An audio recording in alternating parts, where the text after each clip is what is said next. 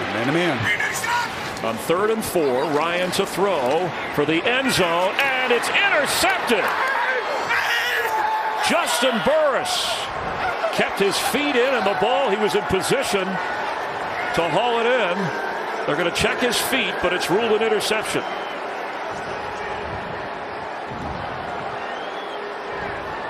Not sure if Ryan ever saw him or how or why he would throw with that position on Russell Gage.